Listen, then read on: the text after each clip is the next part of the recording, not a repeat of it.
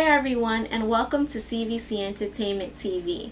I'm your host, Vanessa Statute, and for the next few minutes, we're just going to discuss a few cool and interesting stories in the world of pop culture and entertainment. Today's show topic is all about how one fashion brand has found an innovative way to remain relevant and to continue pushing their designs. As we all can imagine, the current pandemic has the fashion industry as well as fashion brands trying to figure out their next moves.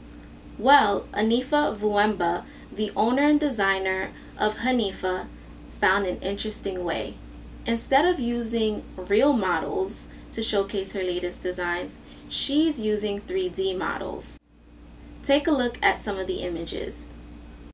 In my opinion, these models look extremely realistic super radiant, and some might even say like melanin goddesses. And Hanifa is also putting on a live Instagram fashion show for its new Congo inspired pink label capsule collection. The show is set to take place on Friday, May 22nd at 7 p.m. If you guys are anything like me, you're definitely going to grab your quarantine snacks, make sure your phone is charged up to watch a great show.